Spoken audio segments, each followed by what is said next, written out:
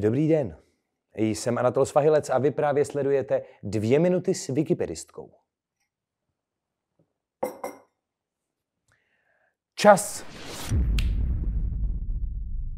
Wikipedistický jméno. Hedvika Šimková. Počet napsaných článků. Něco málo zbývá do 400. Wikipedistická specializace. Většinou historická architektura. Jaké je vaše občanské povolání? Těch je několik. Dělám lektorku osobnostních dovedností, dělám analytičku v jednom IT projektu a jako koníček provádím turisty. Co vás eh, k Wikipedii přivedlo?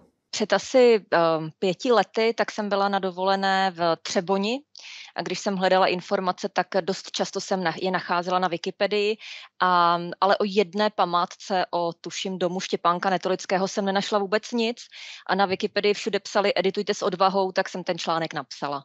Účastníte se ráda wikipedistických soutěží a výzev? Někdy se účastním, třeba popiš památku, je moje oblíbená, ta hodně té specializaci odpovídá. A jaký váš článek byste označila za nejpracnější? To bude celkem určitě barokní opevnění Hradce Králové. To bylo náročné.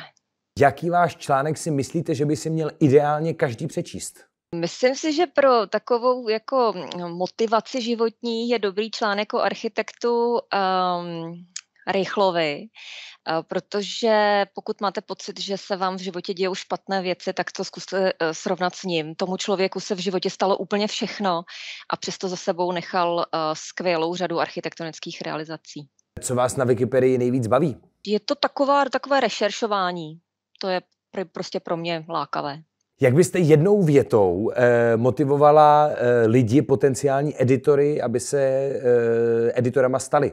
Je to vaše šance udělat něco pro vesmír.